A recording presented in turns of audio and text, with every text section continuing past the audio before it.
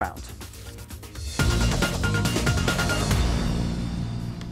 But first, the campaign against racism in football, Kick It Out, have released an app they hope will be another weapon in the fight against abuse at footy matches. The lower leagues kick off this weekend, and it's hoped some of the ugly stories that came out of the game last season don't reappear. There have been plenty of high profile incidents in recent years, but it's hoped this app will help people report abusive behaviour directly from the terraces.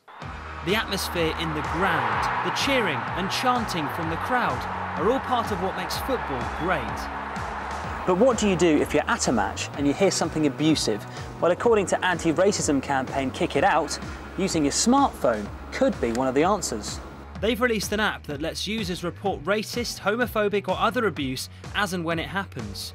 Maybe if you don't feel quite comfortable talking to steward, this gives you a chance to actually download a very simple app that will let you report right away through to the club um, and hopefully action will be taken right away. Put down exactly what you've heard and just submit it. It's literally two or three steps, very simple. Kick It Out thinks more needs to be done to stop incidents of racist abuse at games.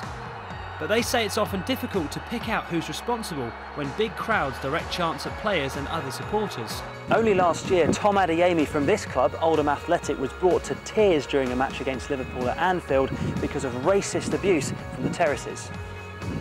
They manage to arrest the person responsible, but often abuse goes unpunished.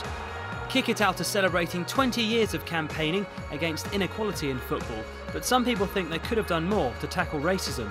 We can't arrest anybody and we can't investigate, but we can challenge the authorities and push the authorities, football and the FA to try and change things, and I think we'll continue to do that. The campaign hope that now this app is available, it'll be a step in the right direction. But it's up to fans at football matches to download it and start using it for it to make a real difference in stamping out racism in football.